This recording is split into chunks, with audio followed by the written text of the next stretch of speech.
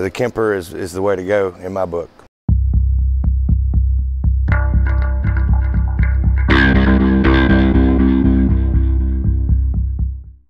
I'm Chet Roberts with Three Doors Down and uh, here to talk about the Kemper Profiler system here.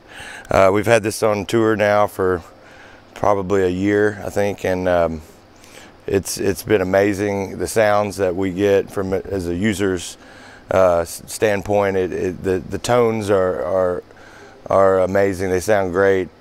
Uh, the ability to be able to profile your own amps that you're used to in the studio and stuff and bring them on the stage in such a small package uh, is, is really priceless to be able to fly like we do here. We're in Europe right now.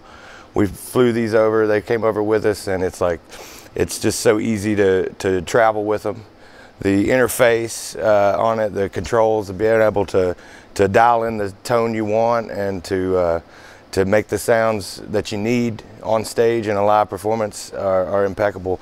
The um, one thing that I've noticed with some other um, other digital um, profilers or or digital amps is there's been some delay in the uh, uh, the the foot pedal, the switchboard, the uh, control panel there, and this is a seamless transition. You hit it, the, you hit the button, it's it's to the next um, the next sound almost instantaneously. So it's really made it uh, a joy to play on stage. Um, with the ease of getting around with a smaller package and um, it's it's uh, the Kemper is, is the way to go in my book.